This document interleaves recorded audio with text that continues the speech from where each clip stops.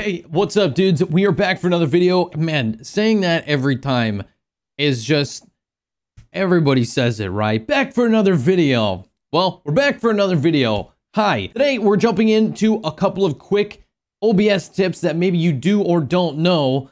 And I just wanted to get them out there because I think they're kind of important and uh, just to kind of get some ideas in your head and what you can do with your own streams and what your own setups. So let's get right into the uh, some some five tips here that I got for you. Okay, five.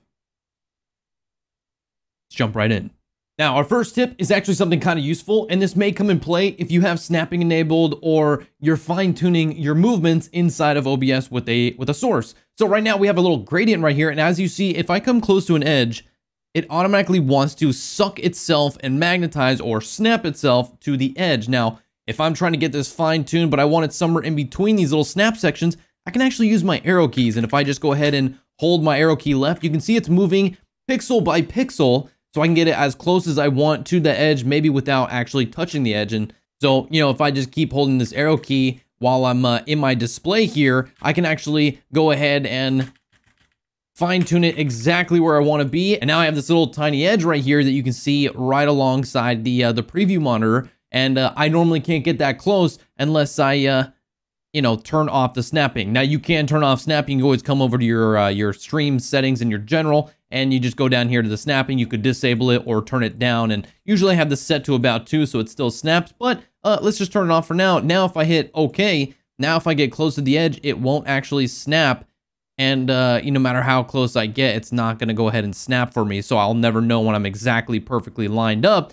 And so, anyways, I, your arrows can actually move your sources inside of OBS.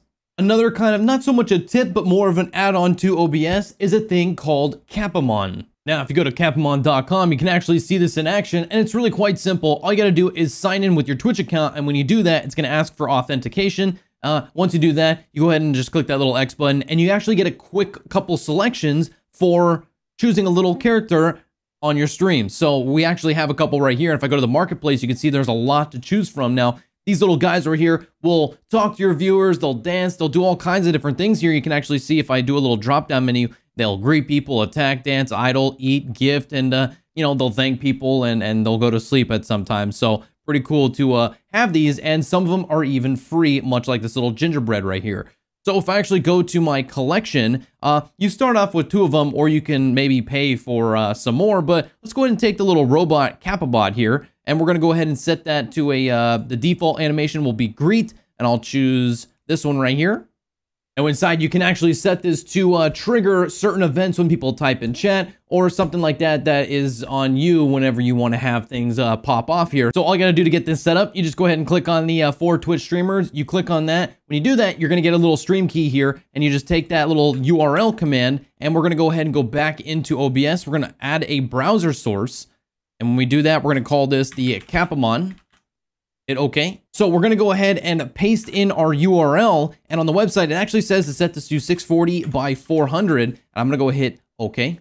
And now we're going to have our little Kappamon here, and I can actually blow him up to whatever size I want, or I can simply change the URL dimensions inside the browser source. And now this little guy lives in my OBS or your OBS and will interact with your viewers if you choose to. Tip number three is actually going to be a two-parter here. So I'm actually going to give you a little bonus tip on top of the tip I'm about to tell you. So actually inside of OBS, you can actually modify your sources pretty simply by cropping them or stretching them. And it's very simple. All you do is click on the, uh, the, the source here as our camera. And if I go ahead and hold shift and I drag, I can actually squeeze this to whatever size I want. Or maybe I want to go squeeze it real down small like that. And maybe that's, uh, maybe that's what I want to do there. I'm actually going to revert that back to normal. And a secondary tip is if you hold alt, you can actually crop your images and have them be exactly what you want. So maybe you're uh, making a TikTok video and you want to make sure you're at the right dimensions there. Well, now I'm cropped in and this could be our TikTok. Tip number four. Now, have you ever wanted to edit your stream info or see your own chat inside of OBS? Well, it's really simple using pop out inside of your own dashboard on Twitch. Now on Twitch, you actually have your stream manager right here, as you can see, and I can actually go over here to where it says edit stream info or any of these things here, and I can go to the top right and you see these little three dots. If I click on those three dots and I click pop out, it's going to give me a popped out widget, which I can do whatever I want with. now that I've popped this out, I can actually take this entire widget and put it into OBS, and that's using custom browser docks. Now, if I just click on this little URL and copy it, I can actually minimize this, go back inside of OBS, come up here to view, go down to docks, and then go over to custom browser docks. Now, if I click on that, it gives me an option to name the dock as well as uh, put in the URL. So we're gonna call this edit stream info and we're gonna paste our URL. And when I hit apply, now we're gonna get a separate widget in which we're gonna have to log in. So I'm gonna go ahead and log in real quick. I gotta use the uh, authenticator here to authenticate my account. You always got to use that extra protection. Now that I've logged in, I actually have access to putting this wherever I want. Let's go ahead and uh, close out of our custom browser docks thing there. So now I can put this anywhere I want. And, you know, maybe I'll put it on the left side of my OBS here and we'll actually drag it and make it a little bit bigger. So now we can edit it on the fly. So I could always change my stream title here and uh, go ahead and update if I choose to. If we want to do our chat, we can do the exact same thing. You come over these little three little dots, hit pop out, and now we have a popped out version of the chat.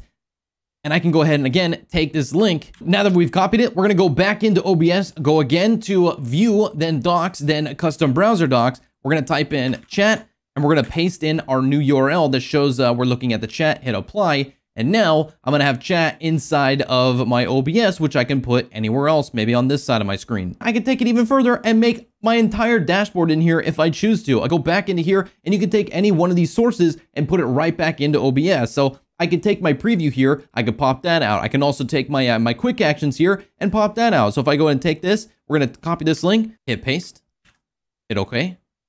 And now we have our little uh, our little buttons here, which we can uh, maybe run ads or whatever we want to do. So I'm gonna go ahead and put this right on the top right there. So maybe that's something that I kind of like. And now I have a very customized OBS setup specifically for me that is much like my dashboard rather than having Chrome open in the background. Tip number five, did you know you can actually interact with your browser sources inside of OBS?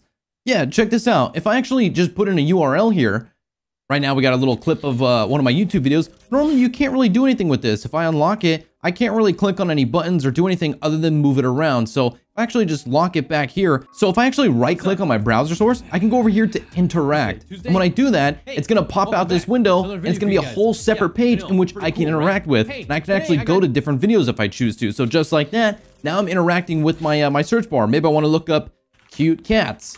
So if I type in cute cats and hit enter, now we can have, we have access to different kind of cat videos. So if I go ahead and click on this one, you're going to see it's going to automatically start playing. Now, if I go ahead and escape out of this window, you can see it's playing here. But again, I can't do anything with it here. So I need to right click on it, interact, and I can always, you know, bring this little window down here like so, and I can just go ahead and start to click through this and change it as I want, and it'll update inside of my OBS. That's it. That's this whole uh, video. I hope you guys learned something new today. Hopefully this stuff will come in handy at some point in your, uh, your future. Appreciate you guys watching. Hope you have a good day, and I'll see you on the next video. All right, take care.